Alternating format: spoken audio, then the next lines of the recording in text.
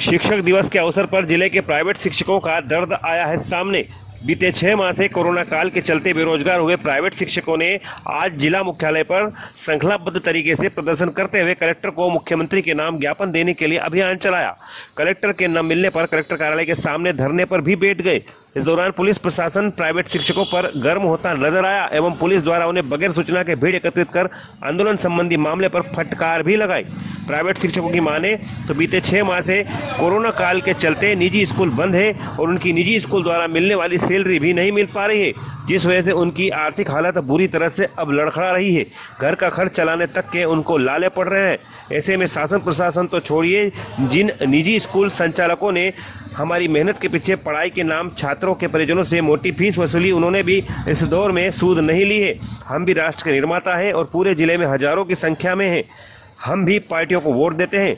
कभी हमने वोटों को लेकर सौदा भी नहीं किया। आज इस बुरे दौर में हम प्रशासन की ओर देख रहे हैं और मदद की गुहार लगा रहे हैं।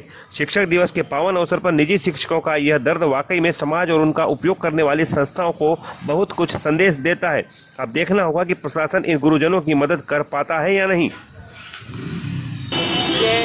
हम भारतीय टीचर्स एसोसिएशन की ओर से देश तथा प्रदेश के समस्त प्राइवेट शिक्षकों की समस्याओं को आज उठा रहे हैं। हमने लगातार माननीय मुख्यमंत्री जी के नाम ज्ञापन दिया और मांग की कि हम प्राइवेट शिक्षकों की समस्याओं का निवारण किया जाए। लेकिन आज दिनांक तक छः माह बीत जाने के बाद भी हमारी कोई सुनवाई नहीं हुई। और आज ये कंडीशन आ गई है कि राष्ट्र निर्माता शिक्षक उसके पास खाने के लिए भी नहीं बचा है। कर्जे में डूब गया है, मकान का किराया नहीं भर पा रहा है, बच्चे को दूध पिलाने तक के पैसे नहीं है। और बहुत ही स्थिति दयनीय है, क्योंकि आप लोगों ने देखा होगा कि हम कभी सड़कों पर नहीं उतरे। हमने जैसे तैसे एडजस्ट किया है हमेशा।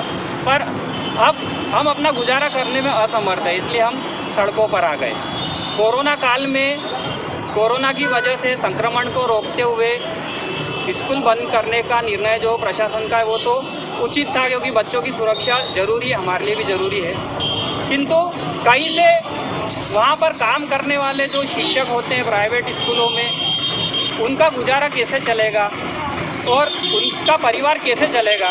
क्योंकि कहने को तो हम राष्ट्र निर्माता हैं और प्राइवेट शिक्षक जो है अस्सी प्रतिशत भार उठाते हैं शिक्षा का। सबसे ज़्यादा काम हम करते हैं मान लीजिए यदि इतनी संख्या में गवर्नमेंट टीचर अगर रखती सरकार तो उनको वो सैलरी नहीं दे पाती।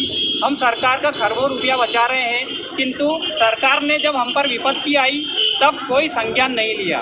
सभी वर्ग को कहीं न कहीं राहत कोष से राहत राशि प्रदान की गई पर प्राइवेट शिक्षकों को उपेक्षित किया गया। है